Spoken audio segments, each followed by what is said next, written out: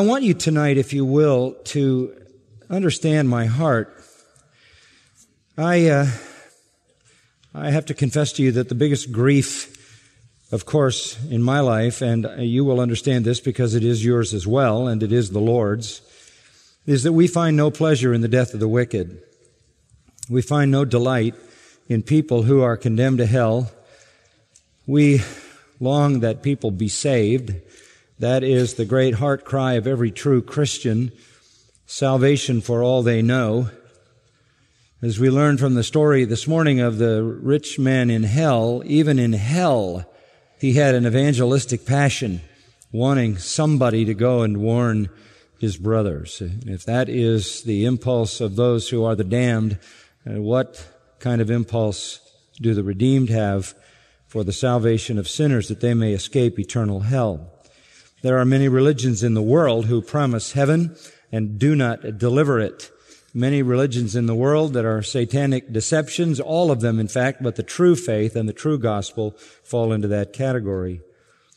Roman Catholicism belongs in the category of false religions, clearly, not because of what I say about them, but because of what they say about the Bible and what they say about the gospel and what they say about religion.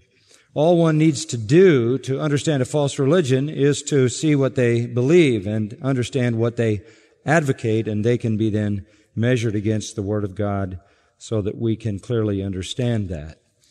Uh, today, there is a very, very aggressive and concerted effort among evangelical people, so many of whom don't know the true gospel, not just Roman Catholics, but also Protestants, to embrace Roman Catholicism as if it is a true religion.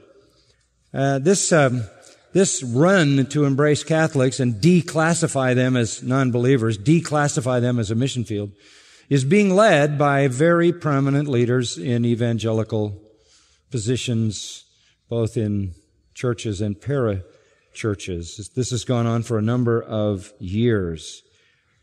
It was not too many years ago that a document appeared, Evangelicals and Catholics Together, known as ECT, which struck an alliance between evangelicalism and the Roman Catholic system. It was signed by many, many well-known evangelical leaders. It launched no small controversy. As a result of it, I wound up in a seven-hour meeting locked up in a room with these evangelical leaders while we endeavored to confront the signers of that document with the horrible realities of Catholicism and their complete misrepresentation of the gospel, and to call these people to take their names off, to deny this document with all their passion and all their heart, none of which they were willing to do. And so that embrace of Catholicism has gone on, and, and the great reality is that many, many people who would call themselves Christians, and some who are Christians, are confused about the character of Roman Catholicism. We need to end that confusion because we need to make sure that we understand that they do not believe in the true gospel. At the heart of Roman Catholicism is this event called the Mass. The Mass. Before we look at it, I want you to open your Bible, however, to the book of Hebrews, to the seventh chapter of Hebrews. And I just want to settle one thing in your mind to begin with.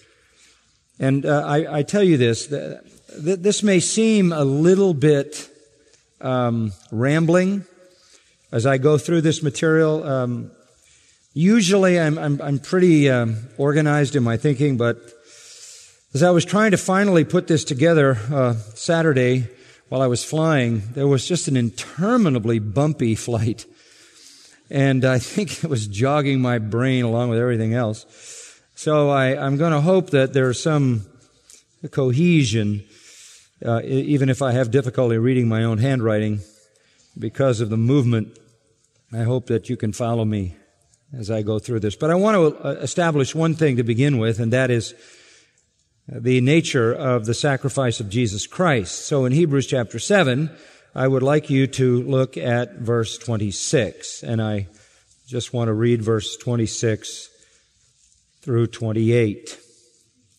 For it was fitting for us to have such a high priest, holy, innocent, undefiled, separated from sinners, and exalted above the heavens, who does not need daily, like those high priests, to offer up sacrifices, first for his own sins and then for the sins of the people, because this he did once for all when he offered up himself.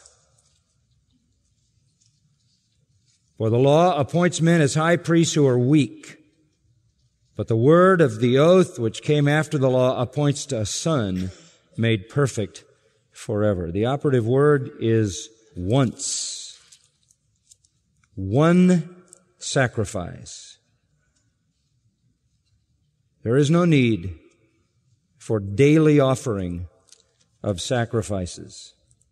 If you will look at the ninth chapter of Hebrews, you will see this same truth repeated in verse 11. When Christ appeared as a high priest of the good things to come, he entered through the greater and more perfect tabernacle not made with hands, that is to say, not of this creation, and not through the blood of goats and calves, but through his own blood he entered the holy place once for all, having obtained, past tense, eternal redemption. For if the blood of goats and bulls and the ashes of a heifer sprinkling those who have been defiled sanctify for the cleansing of the flesh, how much more will the blood of Christ, who through the eternal Spirit offered himself without blemish to God, cleanse your conscience from dead works to serve the living God. Again, the operative word is once. He entered the holy place, verse 12, once. Past tense, having obtained eternal redemption. Go over to verse 24 of Hebrews 9. For Christ did not enter a holy place made with hands, a mere copy of the true one. That is some earthly temple, some earthly sanctuary, some earthly altar but into heaven itself, now to appear in the presence of God for us, nor was it that he would offer himself often as the high priest enters the holy place year by year with blood that is not his own. Otherwise, he would have needed to suffer often since the foundation of the world. But now, here's that word again, once at the consummation of the ages, that is the culminating point of the ages, the, the very event of his own death and resurrection. Once at the consummation of the ages, he has been manifested to put away sin by the sacrifice of himself. And inasmuch as it is appointed for men to die once, and after this comes judgment, so Christ also, having been offered once to bear the sins of many, will appear a second time for salvation without reference to sin to those who eagerly await him. Again, the operative word appears in verse 28, once. He does not need to offer himself often, verse 25 says. He does not need to suffer repeatedly, as verse 26 would indicate from the foundation of the world, because again, once, at the culmination of the ages, he put away past tense sin by the sacrifice of himself. Chapter 10 of Hebrews, verse 10. By this will, that is the will of God, which Jesus came to do, as it says in the prior verse 9. By this will, we have been sanctified through the offering of the body of Jesus Christ once for all. Sanctified meaning separated from sin in a saving sense, as well as an ongoing sense. And it was accomplished through the offering of Jesus Christ, the offering of his body, once Every priest, in contrast, verse 11, stands daily ministering and offering time after time the same sacrifices which can never take away sins, but he, having offered one sacrifice for sins for all time, sat down at the right hand of God. The finality of this is so clear. He came, he made one sacrifice, which perfected forever them that are sanctified. He came, he made one offering for all, never to be repeated, in contrast to priests repeating over and over and over sacrifices which can never take away sin. There is only one sacrifice made one time by one person that can take away sin. It is that sacrifice of the Lord Jesus Christ. All the Old Testament sacrifices did was portray and develop almost a passionate longing for the final sacrifice which would truly take away sin. The Old Testament had a priesthood, an altar, and sacrifices, which were only shadows, anticipatory of the final sacrifice that would come with Christ. He came, He offered that sacrifice, and God punctuated that one sacrifice by destroying the temple, using the Romans to do it in 70 AD, by destroying the altars, thus smashing the entire sacrificial system of the Old Testament and all the records of all the genealogies of all those in the priestly line, thus ending permanently the priesthood. There are no more sacrifices. There are no more altars and there are no more priests as a special order to offer sacrifices. It all came to an end at the sacrifice of Jesus Christ. Any sacrifices being made today are unbiblical and unable to accomplish anything. Any priests today are false claimants to a special priesthood, a special order of priests, since now we are all priests. We are a royal priesthood, all believers. We need no mediator. We all have immediate access to God. We need make no sacrifices because there is no temple, there are no altars, there are no sacrifices, and we are not in need of any priests. In spite of that, the Roman Catholic system has devised a priesthood, has built in every church on the face of the earth an altar, and around that altar continues to offer sacrifice. Tens of thousands of times every day, as if they had reinvented the Levitical priesthood. And they will be doing this until the end of time, until the end of the world, it says in their literature. They have reestablished what God himself destroyed. And it is a variation of the Levitical priesthood. It is an illegitimate variation of that priesthood. I say a variation because it is mingled with cultic, pagan, mystery, and idolatry. The Mass is a sacrifice, which can be made only on an altar of some kind and only by a priest. How important is the Mass to Catholicism? Well, to show you its importance, I quote the Catholic Catechism. Quote, the Mass is the source and summit of the Christian life. That is to say, it is the origin of the Christian life and it is the high point. It was Cardinal Ratzinger, now calling himself Pope Benedict, who said, and I quote him, the Mass is the sum and substance of our faith. This is not peripheral. This is not on the edge. This is not one among many. This is the heart and soul of the system. Even though there are seven sacraments by their definition, this is the main sacrament. But at the very outset, the Mass is a deception. Because, as I said, there are no more sacrifices, there are no more altars, There is no more temple in which God dwells, no more tabernacle, and there is no more priesthood. It is therefore a false sacrifice on a false altar in a false temple by a false priest. At heart, it is a denial of the singular sacrifice of Christ on the cross.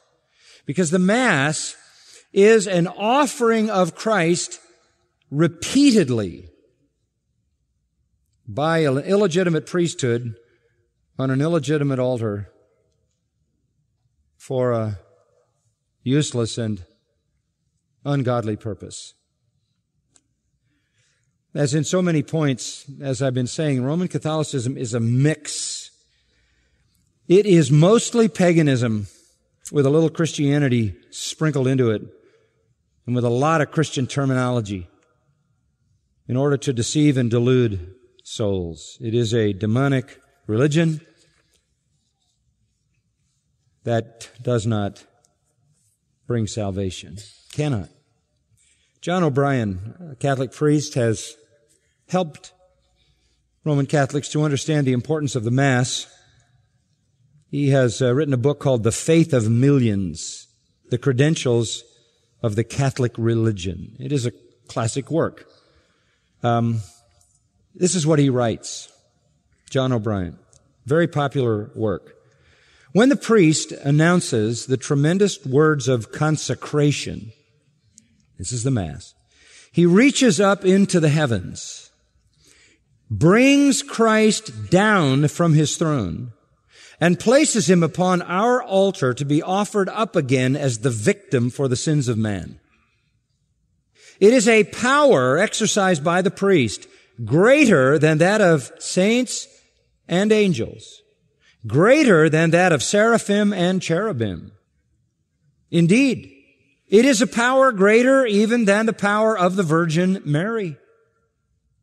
While the Blessed Virgin was the human agency by which Christ became incarnate a single time, the priest brings Christ down from heaven and renders him present on our altar as the eternal victim. You wonder why you always see a crucifix and not an empty cross? The priest brings Christ down from heaven and renders him present on our altar as the eternal victim for the sins of man, not once, but a thousand times. Stop there for a moment. You see the comparison? Mary only brought him into the world once. The priest brings him down thousands of times. He has greater power than the Virgin Mary. It's an amazing thing for a Roman Catholic to say since any study of Mary would indicate to us that they think that she has the very power of God. But we wouldn't expect a system like this to be consistent, would we? The priest, he goes on, speaks, speaks, and lo, Christ, the eternal and omnipotent God, bows his head in humble obedience to the priest's command. And the last paragraph from O'Brien. Of what sublime dignity is the office of the Christian priest, who is thus privileged to act as the ambassador and the vice regent of Christ on earth. He continues the essential ministry of Christ. He teaches the faithful with the authority of Christ. He pardons the penitent sinner with the power of Christ. He offers up again the same sacrifice of adoration and atonement which Christ offered on Calvary. No wonder that the name which spiritual writers are especially fond of applying to the priest is that of alter Christus. For the priest is and should be another Christ. Last week I was on the Larry King program. Some of you saw it. That came out of the mouth of one of the priests on that program. How wonderful it is, he said, to be another Christ. The Bible warns about another Christ. False Christs. And they will proliferate in the end days. That's what's going on in a Mass. This priest given for that greater power than the Blessed Virgin, brings Christ down out of heaven. All he has to do is speak, and Christ, the eternal and omnipotent God, bows his head in humble obedience to the priest's command.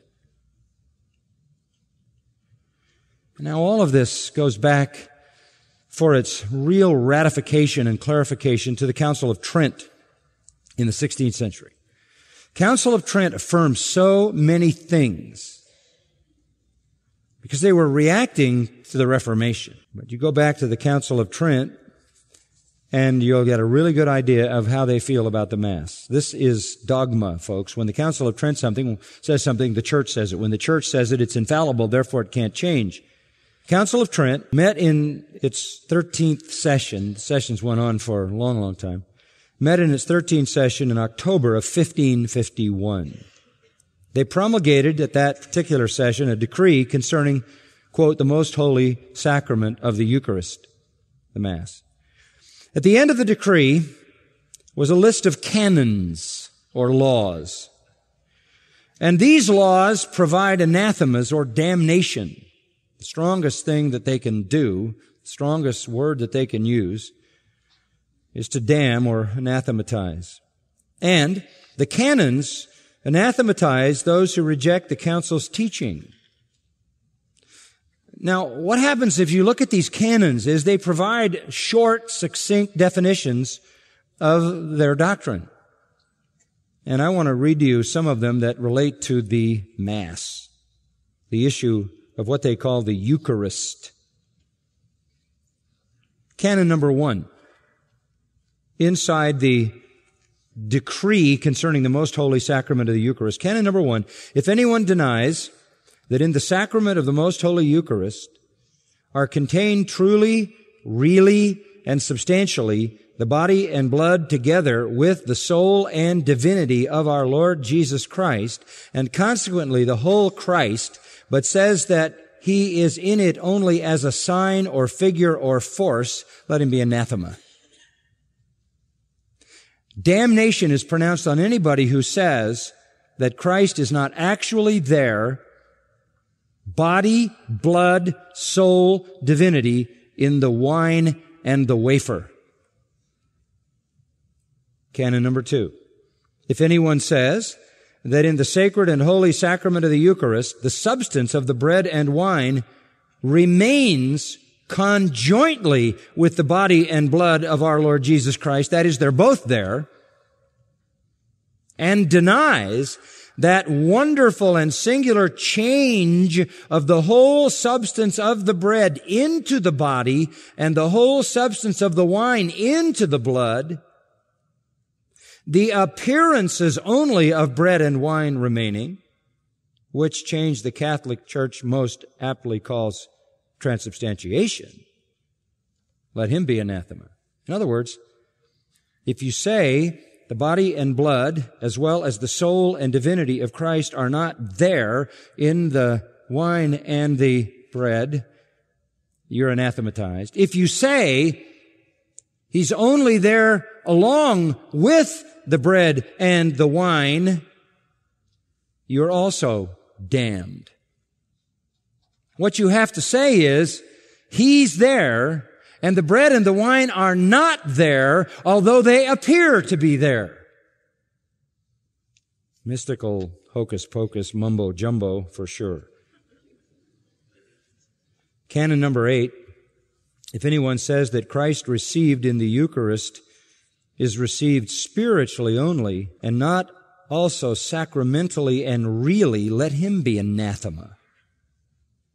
That is, if you say that in taking the bread in, taking the host, as they call it, which the bread is the only thing given to the communicant, if you say that Christ is only there spiritually and not sacramentally and really, you're damned. Eleven years later, in 1562, 22nd session was held of the Council of Trent, and this time the decree promulgated was entitled Doctrine Concerning the Sacrifice of the Mass. And it's important for you to know this, so let me just Read what the second section of this decree says. And inasmuch as in this divine sacrifice which is celebrated in the Mass is contained and immolated in an unbloody manner the same Christ who once offered himself in a bloody manner on the altar of the cross, the Holy Council teaches that this is truly propitiatory and has this effect that if we, contrite and penitent, with sincere heart and upright faith, with fear and reverence, draw nigh to God, we obtain mercy and find grace in seasonable aid. In other words, the Mass is really Christ. It is really a sacrifice on a real altar by a real priest, just like priests in the Old Testament offered an animal on the altar as a sacrifice. The only difference is it is an unbloody one. But Christ is nonetheless immolated or offered or sacrificed. And as a result of this, propitiation is achieved. Actual satisfaction for sin is achieved. Trent went on to say, the victim is one and the same. That is, Christ is the victim as he was on the cross in this Mass. The same, that is Christ, now offering by the ministry of priests who then offered himself on the cross.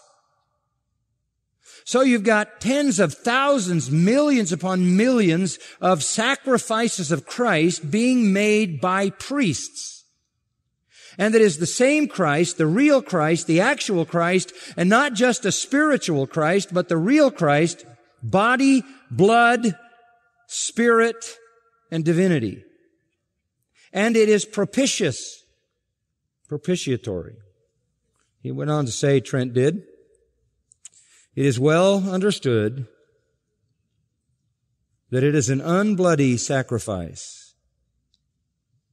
but it is no less a sacrifice. It is rightly offered for the sins, the punishments, the satisfactions, and the other necessities of the faithful who are living, but also for those departed in Christ, but not yet fully purified. Where are they? Purgatory.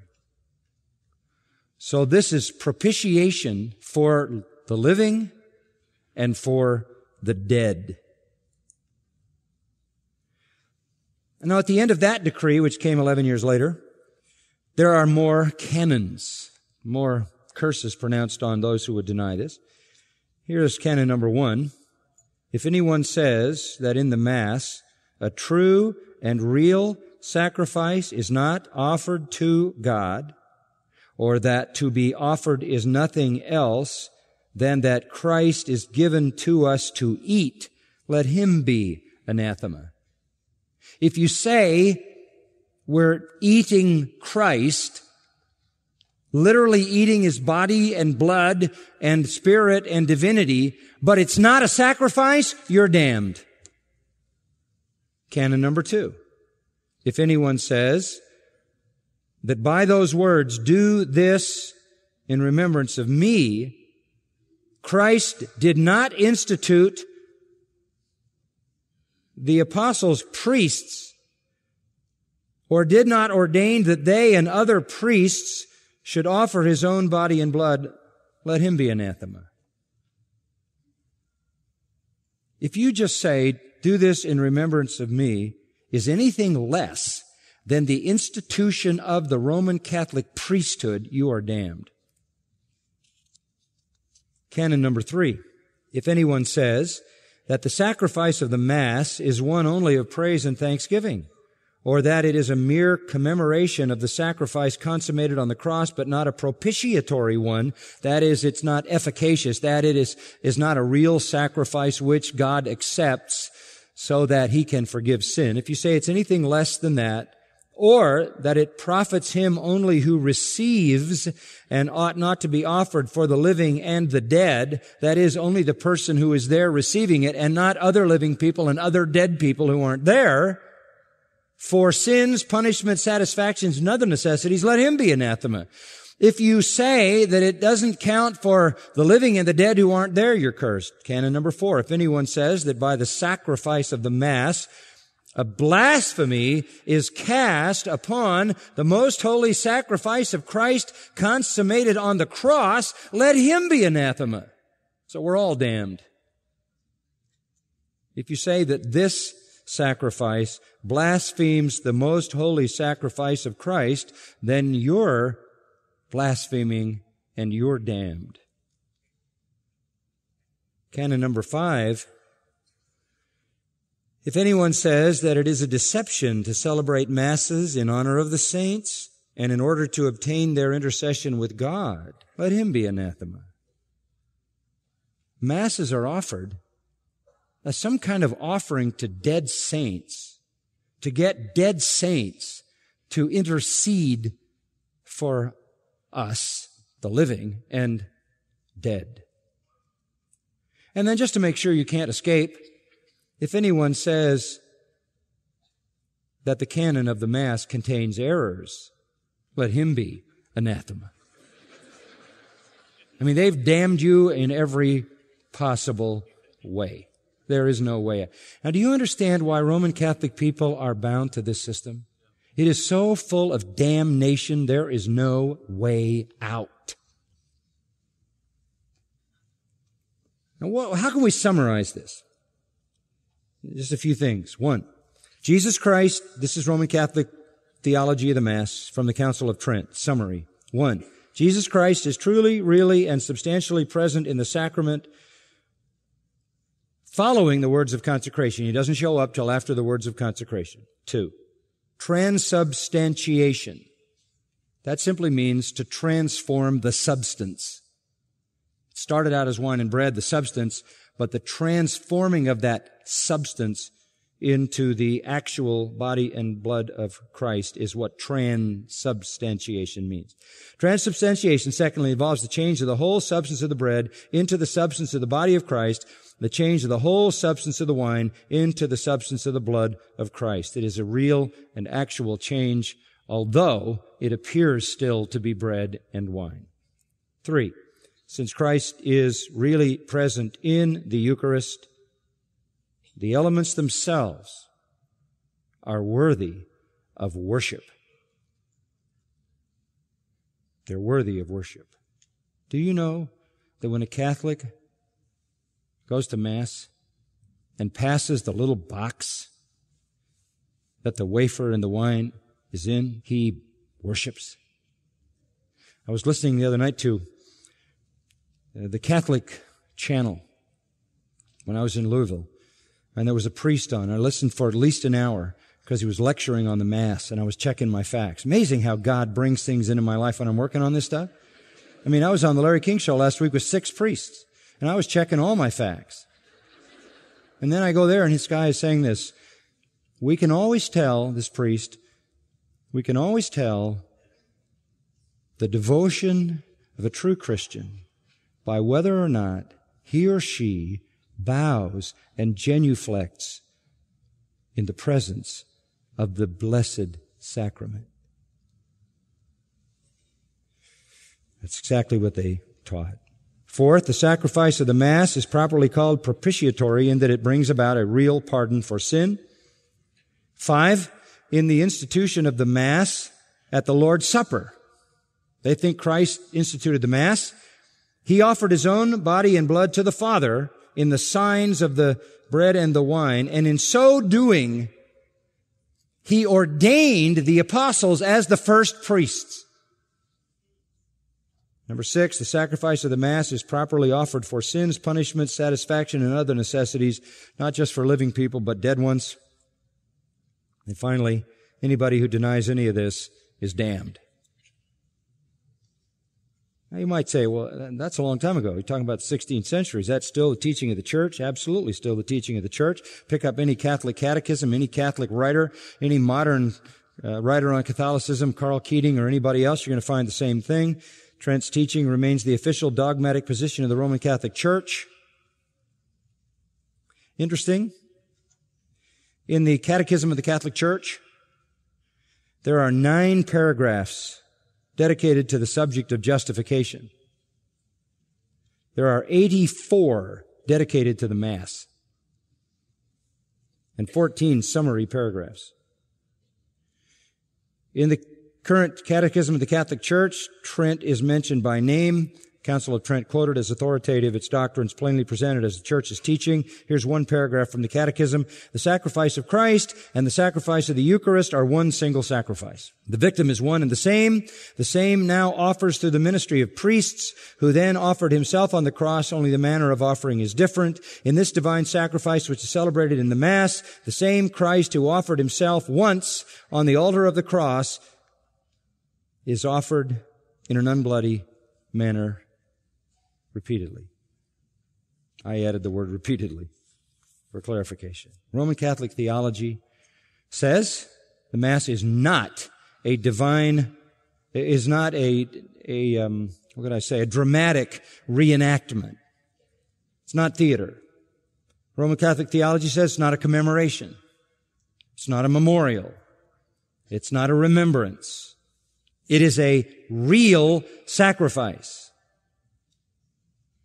that continues the eternal sacrifice of Christ, the eternal victim. It is not a separated sacrifice, but it is the same sacrifice as the cross continually being offered again and again and again and again and again. It's really an amalgamation of pagan sacrifices which found their way into Christianity very, very early. And true Roman Catholic devotion is measured by whether or not you genuflect and make the sign of the cross when you see the Blessed Sacrament. Roman uh, Catholic Catechism quotes Vatican II Vatican II says, as often as the sacrifice of the cross by which Christ has been sacrificed is celebrated on the altar, the work of our redemption is carried out. It is a redeeming sacrifice, as is the cross. What utter chaos and confusion is that? So where do you look for your salvation? To what sacrifice? The one you had today, yesterday, the one you'll have down the road? No wonder in Roman Catholicism there is no such thing as assurance of salvation. How would you ever know?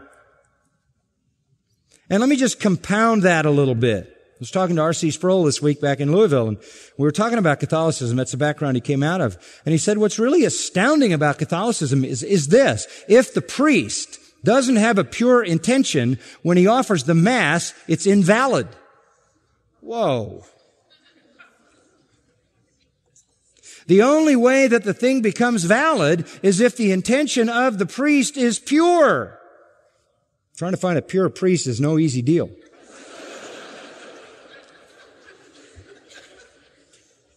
You know, what if he's immoral? What if he's a pedophile? What if he's a homosexual? Is that, does that invalidate everything the guy does? And just exactly what does pure intention mean? Listen to Ludwig Ott my favorite Roman Catholic theologian because I can find everything I need in that one book. Here's Ott.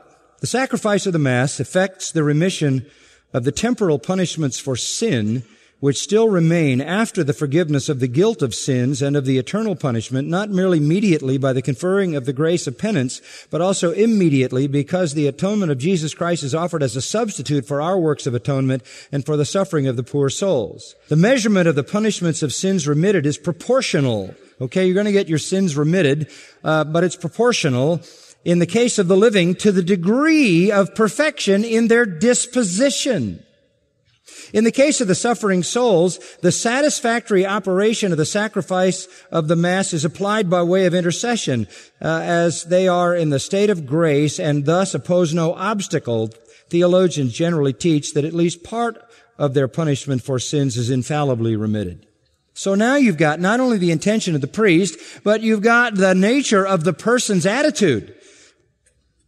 On the same page, he says, as a propitiatory and impetratory sacrifice, the sacrifice of the Mass possesses a finite external value since the operations of propitiation and impetration refer to human beings who as creatures can receive a finite act only. This explains the practice of the church in offering the holy sacrifice of the Mass frequently for the same intention. What's all that about? It's all saying this. We can't be too sure about the intention of the priest. We can't be too sure about the intention of the person for whom the Mass is being offered. And since we can't really be sure about that, we have human limitations upon the Mass. Since the priest might not have a pure intention and the person might not have a pure intention and it might not be really doing very much good. And so they throw in this little possibility at the bottom that there has to be somewhere a finite benefit. In fact, the Part of their punishment must infallibly be remitted. You, you gotta throw that in. Why? Because you have to pay for the Mass. That's right, you pay. That's how the coffers of the Catholic Church are filled. You pay for a Mass. There are inexpensive Masses, and there are really expensive ones, offered by a bishop or a cardinal. There, there is the votive Mass, which is like the routine stuff of life. There is a requiem, which is a Mass for the dead, that costs you more. There's a nuptial mass for a wedding, that'll cost you more. And then there is a super mass offered by a hierarchical figure in the church, which will cost you a lot more. Catholic Church admits that you could have mass upon mass upon mass upon mass. You could pay plenty of money and if the attention of the priest, intention of the priest isn't right and the intention of the person receiving the mass isn't right, it's not going to have much effect, but they hurry to quickly add, quote, part of their punishment is infallibly remitted. Why? Because that's really a bummer to try to get people to pay money for something that might have no value. So you stick in a little finite value at the bottom and that makes them come back again and again and again and again to pile up those little finite values. Roman Catholic theology teaches that a person can attend a thousand masses and still leave this life not fully purified and go into purgatory and have another thousand masses read in their behalf and still not be fully purified because their attitude isn't pure and the attitude of the priest isn't pure either. What a horrible trap. Absolutely horrible trap. Mystical mumbo jumbo right out of the pit to take captive the souls of people. Now, to have a mass, you have to have a priest. You can't have a mass without a priest. That's why the shortage of priests is a big problem. A big problem. Oh, I want to take you to a mass for a moment here. This is kind of how it would flow. This is uh, Boettner, who wrote a classic book called Roman Catholicism. You'll be interested in this. Stay with me. The bread, in the form of thin round wafers, hundreds of which may be consecrated simultaneously, is contained in a golden dish. The wine is in a golden cup. The supposed body and blood of Christ are then raised before the altar by the hands of the priest and offered up to God for the sins both of the living and the dead. By the way, the people are never more than spectators. They don't sing, they don't talk, they don't pray, they don't do anything. And the liturgy is so rigid that it's carried out mechanically and the priests have to be trained to do it. And you gotta be, a, you gotta have a good memory to be a priest. There's a lot of details. In the observance, after he's lifted it up, the priest partakes of a large wafer. Then he drinks the wine in behalf of the whole congregation. They never drink the wine. Traditionally, they do not. Maybe some exceptions to that. The lay members go to the front of the church. Some of you have seen this. Some of you have done this. And they kneel before a railing and they close their eyes and they drop their jaw into an open mouth position into which the priest places a small wafer. And the reason it never leaves the hands of the priest and goes to the hands of the parishioner is simply because this is the complete body and blood of Christ. And they don't want to drop it. They don't want the people to touch it. Only the priest drinks the wine because the people might spill it and it would land on the floor and they would have a horrible situation. Used to be in Roman Catholic um, tradition, you, you You had to abstain from solid food. Uh, since midnight, if you were having morning mass, that's why they always had early mass. Well, you know where early mass came from? It came from that traditional law that you couldn't eat anything between midnight and mass, and people didn't want to wait till nine o'clock, ten o'clock, eleven o'clock, so they always had a six o'clock, five o'clock mass. People were hungry. They weren't hungry to eat the wafer, they were just hungry to have the wafer eaten and then to go eat. And the reason you weren't allowed to eat before midnight was they didn't want to mingle Christ with anything else. Now that's been changed. I know. I understand the silliness of it. The, now it's down to um, an hour, I think. Strange, however, isn't it, that the Lord instituted the Last Supper immediately after they'd eaten a huge meal that lasted for hours? Christ had no objection to the bread and the wine being mixed with whatever else they ate. Then the pageant really gets going. Um, takes a lot of training, and you'll understand why, okay? This is what happens. The priest then makes the sign of the cross 16 times in his pageant. I'm not going through it step by step. I'm going to sum it up. He has to make the sign of the cross 16 times. He has to turn toward the congregation six times lift his eyes to heaven 11 times, kiss the altar eight times, fold his hands four times, strike his breast 10 times, bow his head 21 times, genuflect eight times, bow his shoulders seven times, bless the altar with the sign of the cross 30 times, lay his hands flat on the altar 29 times, pray secretly 11 times, pray aloud 13 times, take the bread and wine and turn it into the body and blood of Christ, cover and uncover the chalice ten times, go to and fro twenty times, and in addition perform numerous other acts. What in the world is he doing? All of this extended pageant is designed, writes Boettner, to reenact the experience of Christ from the Last Supper in the upper room, through the agony in the garden, through the betrayal, through the trial, through the crucifixion, through his death, burial, resurrection, and ascension. That's why all that motion's going on. Some kind of dramatization His bowings and genuflections are imitations of Christ in his agony and suffering. And if the priest forgets one element of the drama, he commits a sin, technically invalidates the Mass. So you gotta be trained to do this, and you gotta have a good memory. Who could count all those? What you do is you go through it. It's like a routine till you get it down. Historically, the Mass has been said or sung in Latin, which nobody understood. But they didn't need to understand. Priesthood, by the way, replaced preaching and an altar replaced a pulpit. That's how it is with sacramental religion.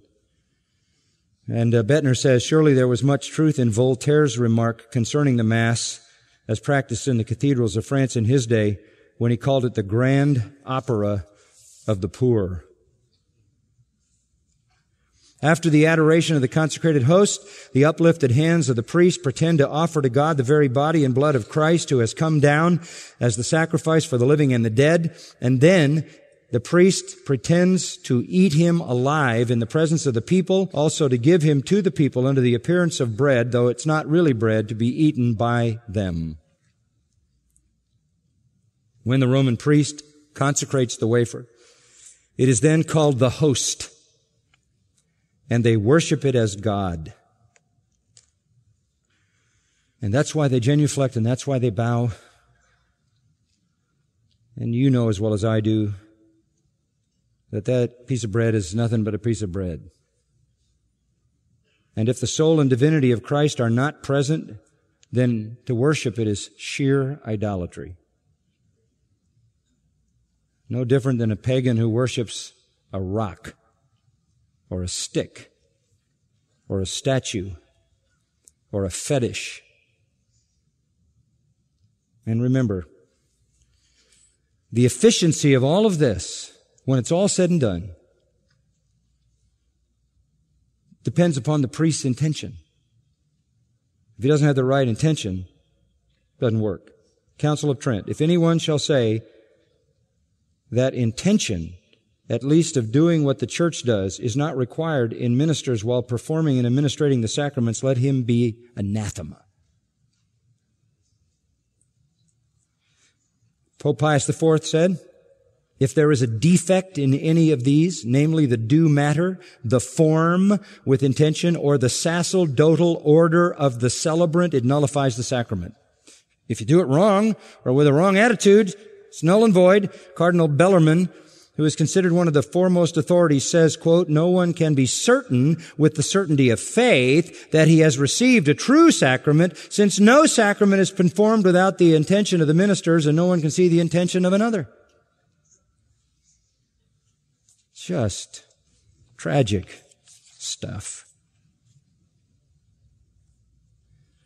But according to the Mediator Dei, the priests do this with the salvation of the world in view. Quote, it is the sacrifice of the altar where the merits won by the Redeemer on the cross are distributed to the faithful. When you try to nail down the Roman Catholics on what exactly is going on, they, they're all over the map, and most of the poor folks who just go to the Catholic Church have no clue, except they think this is Christ and they worship him. In fact, this is so serious. Um, skipping over to something. Listen to uh, Mother Teresa, and I'll stop here. This is a quote from Mother Teresa. It is beautiful to see that humility of Christ in his permanent state of humility in the tabernacle, the little box where they put the wafer and the wine where Christ has reduced himself to such a small particle of bread that a priest can hold Christ in two fingers. Vatican II said, the Blessed Sacrament should be given the worship which is due to God, the true God. It is not to be adored any less. What are they worshiping? Bread?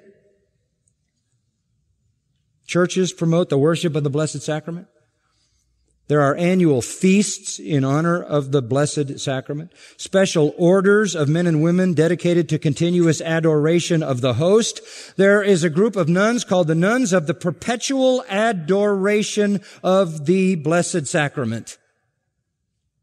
There is the congregation of the Blessed Sacrament who are, quote, devoted to carry out before the Blessed Sacrament a perpetual mission of prayer and supplication. Their whole lives devoted to worshiping a piece of bread in a box. Now let me close with this. Um, I think I can find it. Oh yes. I'll close by taking you to a uh, 18th century uh, eyewitness account of uh, a festival, Corpus Christi, the body of Christ, the Blessed Sacrament. And I won't drag you through all of it. It's too painful. But it, it would go a little bit like this. Huge wooden figures, 15 feet, dressed colorfully in their respective habits of office and dignity, are assembled. All the clergy of the parish churches and friars of convents uh, form a procession all the silver bodies of saints on pedestals and bases in the churches and convents are collected together. So they've got all these statues and all these things.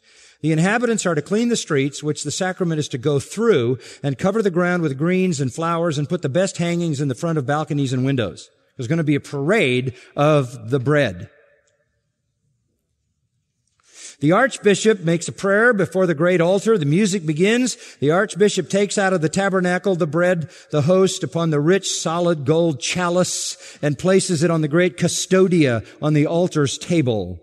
The archbishop in his pontifical habit officiates his grace, gives the blessing to the people with the sacrament in his hands. Then the archbishop, with the help of the dean, the archdeacon, and the chanter, place the custodia on a gilt pedestal, which is adorned with flowers and the jewels of several ladies of quality, and which is carried on the shoulders of twelve priests dressed in the same ornaments they say mass in. This being done, the procession begins to go out of the church in the following order. Now they've got twelve guys carrying this, uh, this custodia, this golden box, and on top of it sits this little box with the host in it. First of all comes the bagpipe, some kind of instrument, uh, played like a bagpipe, and the great and small giants, the colorful figures, dancing all along the streets, followed by a big silver cross out of the cathedral. Next come 30 30 corporations of tradesmen, the smallest is 30 people. Then the boys and the girls of the Blue Hospital with their master, mistress, and chaplain. Then all the religious orders led by the Franciscans, because they're the youngest, in all about 70 orders, dressed in the ornaments they use at the altar. 20 convents of friars, about 2,000 present on this solemn occasion. 16 convents of nuns, about 1,500. 1,200 parish priests. 4,700 ecclesiastical personages and the rest add up to about 15,000 families. Massive parade. They come out, this is in Spain, in a town called Zaragoza, but it's typical of all of these. They come marching out, the twelve priests carrying the canopy under which the sacrament goes. The archbishop in his pontifical habit goes at the subdeacon's right hand, the viceroy at the archbishop's right hand, the deacon and the subdeacon, one at the right and the other at the left, all under the canopy Six priests with incense and incensaries on both sides of the custodia go incensing the sacrament without intermission, not without stopping. One kneels down before the great host and incenses it three times. The other puts incense in his incensary, and thus they do from the coming out of the church until the return back. They got three going at all times. This guy's doing his three while the other's loading his three, and then they switch. The great chancellor, the presidents, the councils follow after with all nobility, men and women with lighted candles. This procession lasts four hours from the time it goes out till it comes into the church again. All the bells of the convents, all the parishes ring all this time. The riches of the procession are incredible. With this magnificence, they carry the sacrament through the principal streets of the city, and all the people that are in the balconies and lattice windows throw roses and other flowers upon the canopy of the sacrament as it goes by. This is the festival of Corpus Christi. This is the worship of bread. By the way, there's a revival in America today of the perpetual adoration of the Blessed Sacrament. In Catholic churches around America, parish families sign up for an hour or more each week to keep company with the host. And they go down to the Catholic church and they sit there for an hour worshiping the host around the clock every day. Pope John Paul II approved enthusiastically of perpetual adoration. That's what it means. Perpetual, around the clock worship of the host. Some nuns do it all the time. Some congregations do it all the time. And in all Catholic churches, there are people assigned to keep it going around the clock, or in many Catholic churches. You could never confuse this with Christianity. Never. Never. I have a lot more to say. Fascinating about where it came from and why it came. And I'm going to tell you next week some stories that will shock you about massacres of those who refused to worship the bread.